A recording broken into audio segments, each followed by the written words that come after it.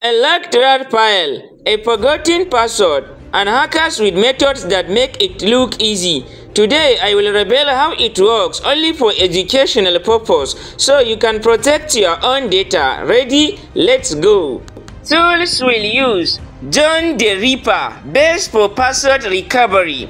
RAR to John extracts hash from RAR file, or at least like rockyou.txt. These tools are really trusted in cybersecurity and work offline. Paste, we need John the Ripper on our device. You can install it by typing sudo apt install John the Ripper.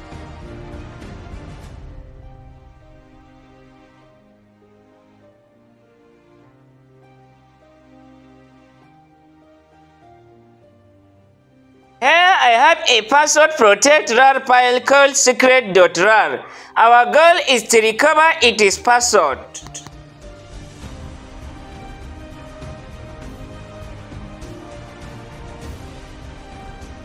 To crack a RAR password, we first extract its hash using RAR to John.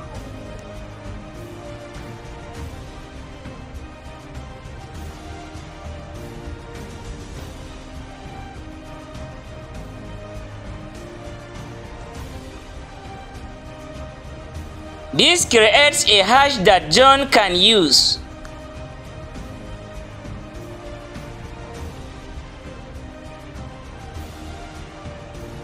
Now we run John with a word list. The most popular one is rockyou.txt.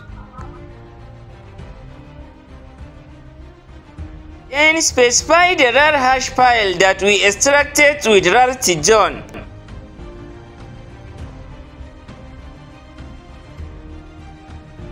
John will now test millions of passwords until it finds the right one. Boom! The password is found. 12345678. Let's open the RAR file now.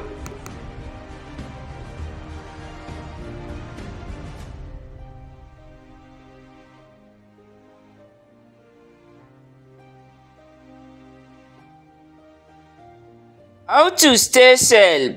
To protect your RAR files, always use strong passwords, 12 plus characters, mix of symbols and numbers, and avoid common words. Tools like John can't crack very complex passwords easily. This was an ethical hacking demo for learning only. If you found this useful, hit like, subscribe, and share with your friends to spread awareness.